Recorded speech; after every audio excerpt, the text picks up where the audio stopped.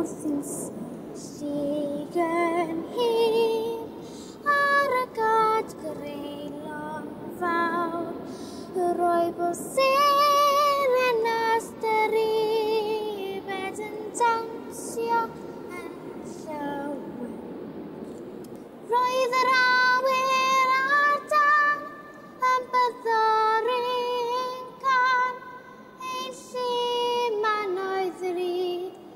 does it